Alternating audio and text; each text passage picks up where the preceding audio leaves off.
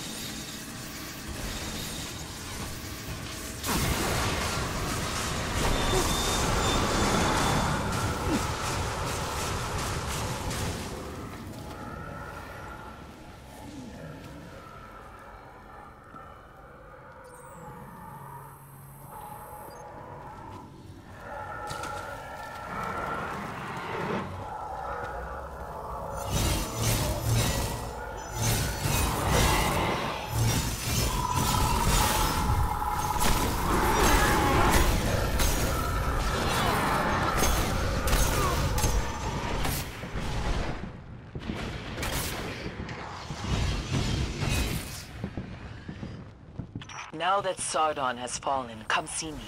There is more to do. The rest of Crota's disciples will not cease until Earth is ready for their master's return.